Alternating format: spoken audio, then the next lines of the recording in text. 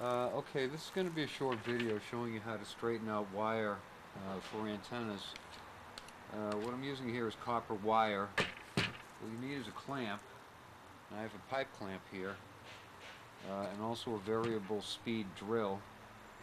Uh, clamp one end in the pipe clamp and the other end in the drill.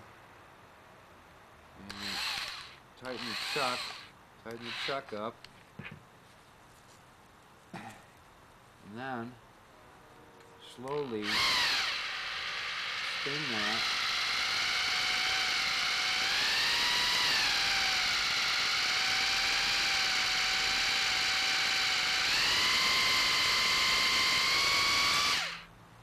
and it'll straighten out that wire.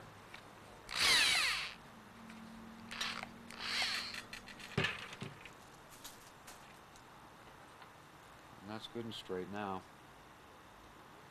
Uh, you need to make your wire a little bit longer than what you need because this will shorten shorten the wire a little bit.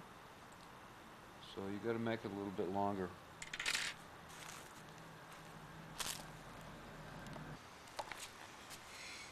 Uh, here I'm using a, a heavier gauge and a longer piece but it's the same exact thing just put it in the uh,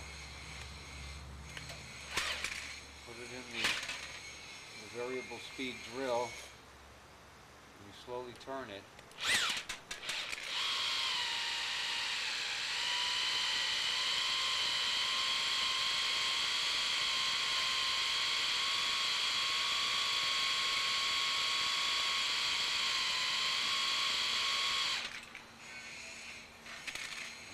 straight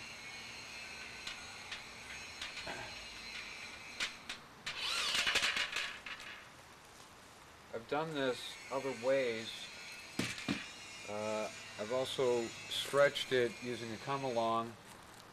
Uh, and there's another way that's pretty good is to take your wire and hold it with a hand, uh, vice grip on one end and then whack that uh, vice grip with a with a hammer uh, while it's in a in a clamp but uh, really this is the best way to do it.